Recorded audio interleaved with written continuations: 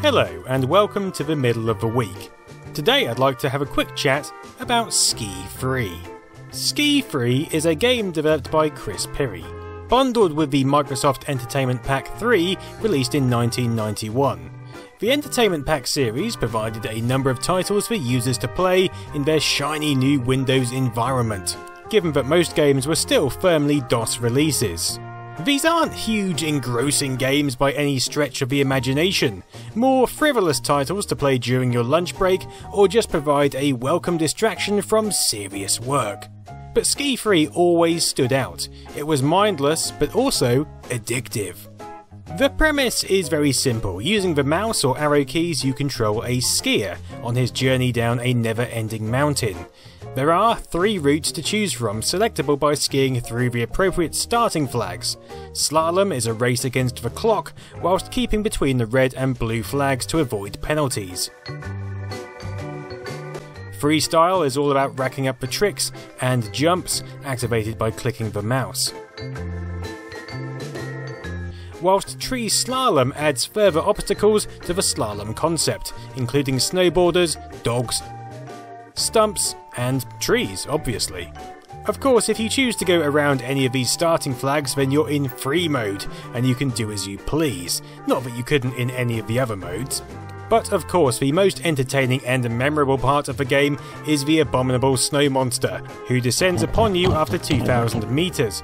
Your task then is to keep your distance and avoid entering his abominable belly.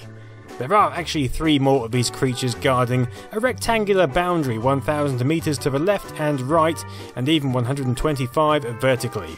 There are a few other quirks as well. Pressing F will double the speed of the gameplay, and the never ending slope is actually a wraparound which is 2048 metres in any direction. And there are 16 pixels per metre. There are also numerous bugs and cheats which Chris holds his hands up to, given it was created simply as a programming exercise for fun more than anything else. At its core, the game is much like skiing on the Atari 2600, but that was a proper commercial game, and Ski Free was never really intended to be a commercial title at all. In early 1991, Chris was working as a programmer for Microsoft, with his main role to write programming utilities for other programmers. This was a time when OS 2 was still a Microsoft product, and so Chris spent most of his time assisting with that. However, with Windows 3 gaining momentum, he decided it was time to practice some programming in what could be Microsoft's main product.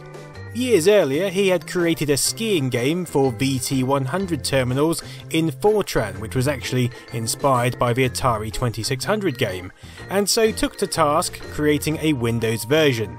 This version would be written in C and created entirely in Chris's spare time. So one day Chris found himself having a quick dabble at work when the Windows Entertainment Pack program manager noticed this landscape whizzing past on his screen and decided the game needed to be part of the next Windows Entertainment Pack. Chris had named it WinSki, but it was renamed Ski Free, with Chris paid a token one-off fee for its inclusion. Little did he know what an impact it would have on the lives of Windows users. Most of this, I'll add, I've gleaned from Chris's website at ski.ihoc.net, but Chris goes on to write how challenging it was to get good performance out of the slow VGA hardware of the time, especially with the layers of abstraction between software and hardware currently served up by Windows. To help, he designed an algorithm combining overlapping objects into one through a Boolean function. This created flicker free visuals which even ran on 286 machines coupled with EGA graphics.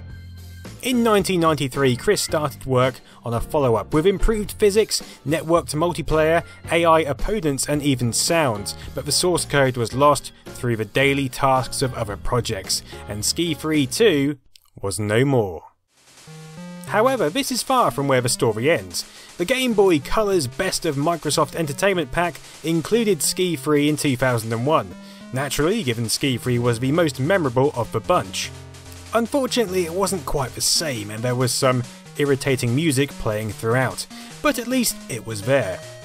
In 2005, Chris found the source code for Ski Free 1.03 and released a 32 bit version which you can download and play even on Windows 10. This, this is the dream. Across the web, you'll find numerous sites dedicated to the game, including Chris's own, which includes sounds for the snow monster,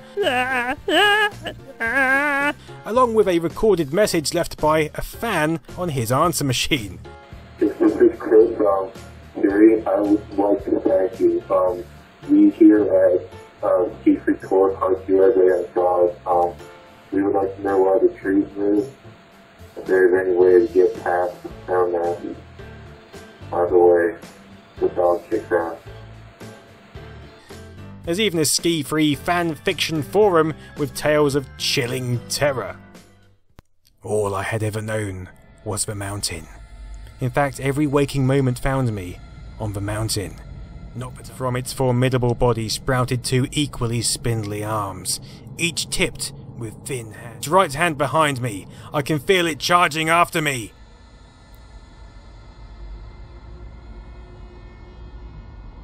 For me, Ski Free is just a title which invokes feelings of fun from the mid 90s. It's one of those games you forget about until someone mentions, What about that skiing game for Windows? and you suddenly think, Oh my god, Ski Free. What an amazing thing that was. After which you, of course, have to find a copy and play it immediately, and that's kind of what happened with me and this video, and that's why I've been playing Ski Free for most of today. Anyway, thanks for watching. Have a great evening.